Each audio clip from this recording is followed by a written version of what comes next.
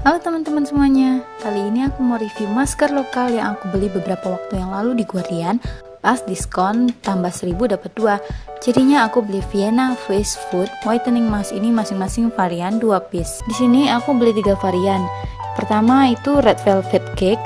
Ada bentuk-bentuk cake-nya di kemasannya lucu banget kan?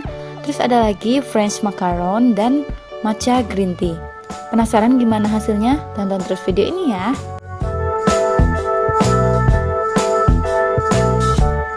Oke, pertama aku akan membahas varian matcha green tea-nya. Aku suka banget setiap kali pakai varian green tea ini karena memang aku pencinta green tea, jadinya aku suka aja ciumnya. Untuk teksturnya sendiri masker ini kental dan hampir semua masker peel off-nya dari Vienna ini kental. Waktu diaplikasikan terasa dingin, tapi dinginnya tuh nggak terlalu lama. Terus karena aku pakainya agak kebanyakan, jadinya itu lama banget keringnya, bisa kurang lebih hampir satu jam baru kering jadi aku sarankan jangan pakai ketebalan, pakainya tipis-tipis aja. Waktu di peel off agak sedikit sakit, tapi masih bisa dimaklumin dan ditahan sih.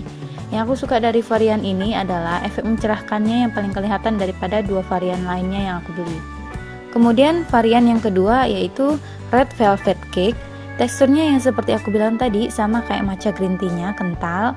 Wangi masker ini ya ampun enak banget, manis banget. Berasa seperti muka itu lagi ditempelin cake. Oh iya, ada yang berbeda dengan varian yang ini. Waktu aku aplikasikan maskernya ke wajah, bagian pori-porinya itu agak kurang menyatu seperti nggak mau masuk gitu maskernya. Tapi setelah aku aplikasikan lagi, akhirnya mau nempel juga. Waktu di peel off nggak terlalu sakit seperti macanya. Dan setelah di peel off, aku hanya merasakan kulit tuh jadi terlihat bersih.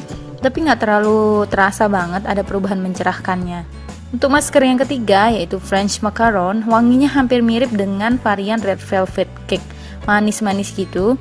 Waktu diaplikasikan langsung menyatu ke kulit tanpa terlihat terpisah seperti Red Velvet Cake-nya. Teksturnya sama kental juga, tapi varian macaron ini paling cepat kering dibanding dua varian sebelumnya. Waktu di peel off nggak terlalu sakit juga dan hasilnya yang aku rasakan hanya melembabkan tapi nggak terasa mencerahkan. Oke teman-teman, selesai dari reviewnya. Dari ketiga varian Vienna Face Food Whitening Mask ini, aku paling suka dengan varian matcha green tea-nya. Aku suka dengan wangi green tea-nya, aku suka juga dengan hasilnya yang begitu langsung kelihatan mencerahkannya dibanding dua varian yang lain yang aku beli. Selain itu, matcha ini juga bisa melembabkan kulit karena mengandung madu dan susu. Nah, apakah dari teman-teman ada yang udah pernah cobain masker ini? Kalau ada, kasih tahu dong pendapat kalian tentang masker ini di komen box di bawah ya. Thank you banget buat kalian yang udah nonton video aku. Sampai ketemu di video berikutnya ya. Bye bye.